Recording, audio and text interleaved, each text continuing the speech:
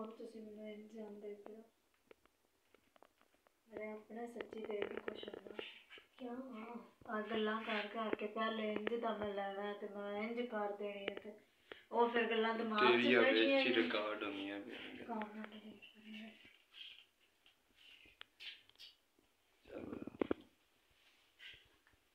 delete ਚੱਲ